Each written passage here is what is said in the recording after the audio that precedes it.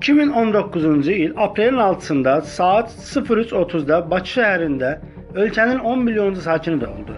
Respublikanın hər yerində böyük coşqu ilə qeyd edilən əlamətli hadisə həm də bəzi suallar doğurur. Məsələn, 10 milyonuncu vətəndaşın seçim prosesi necə olub? Biqaz xəbər verir ki, Modernaz bu və digər sualları Dövlət Statistika Komitəsinin sədr müavini Rauf Səlimov ünvanlayıb. Rauf müəllim hazırda əksəriyyəti maraqlandıran sual budur. Necə oldu ki, Azərbaycanın 10 milyoncu vətəndaşını məhz 2019-cu il aprelin 6-sında saat 03:30-da Respublika Perinatal Mərkəzində dünyaya gələn körpü olduğunu müəyyənləşdi. Bəli, aprel ayının 6-sında ölkəmizin 10 milyoncu sakini doğuldu. Bu hamını sevindirən tarixi hadisədir. Qeyd edim ki, bu məlumatlar Dövlət Statistika Komitəsinin apardığı cari uçot məlumatlar əsasında əldə olunur. Cari uçot dedikdə nə nəzərdə tutulur? Bunlar əhalinin sonuncu siyahılanmasının məlumatları əsasında hazırlanır. Həmin rəqəmlərin üzərinə hər il ölkədə doğulan və ölkəyə daimi yaşamaq üçün gələnlərin sayı toplanılır. Həmin rəqəmdən ölənlərin və ölkədən gedənlərin sayı çıxıldıqdan sonra yekun rəqəm alınır.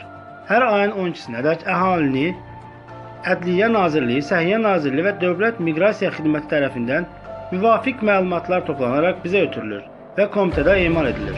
Cari Sot əsasında hər ayın biri vəziyyətinə əhalinin sayını açıqlayır. O zaman təhlillər zamanı Azərbaycan vətəndaşlarının sayı 10 milyona yaxınlaşdığı sizə əvvəlcədən məlum olub.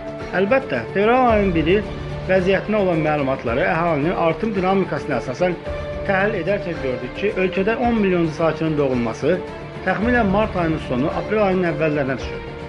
Prosesin real vaxt rejimində müşahidəsini aparmaq üçün dərhal Səhiyyə Nazirliyinə operativ qərargah yaradıldı. Orada dövlət qurumlarından mütəxəssislər daxil edildi.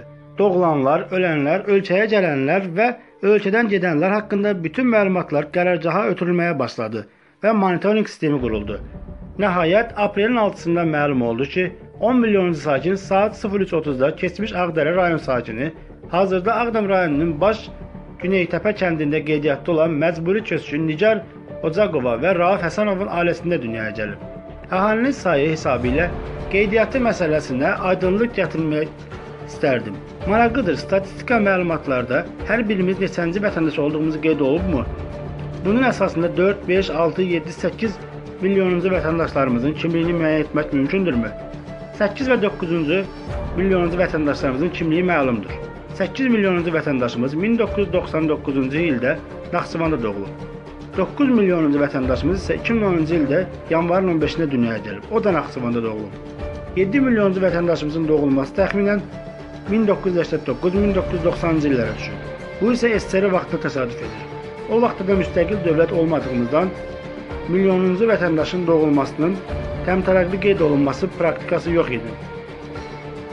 Birləşmiş Millətlər Təşkilatının İqtisadi və Sosial Məsələlər Departamentinin hesabatları bildirir ki, Azərbaycan əhalisinin sayı 2050-ci ildə 11 milyon olacaq. Maraqlıdır. Hesabatda səslənən rəqəm əhalinin hazırki artım dinamikası ilə üst-üstə düşürmü?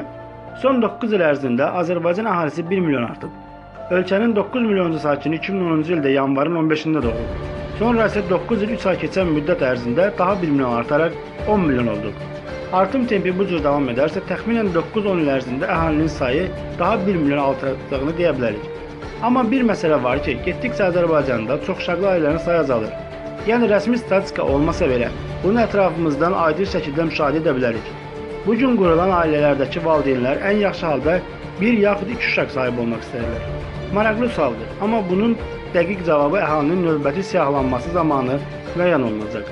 Bu yalnız 10 ildən bir sorğu əsasında müəyyən edilərək dəqiqləşdirilir ki, hər ailədə neçə uşaq var? Ümumiyyətlə ola bilər ki, belə bir tendensiya var. Amma bunu da demoqrafiyalar təhlil edib səbəbini müəyyən etməlidirlər.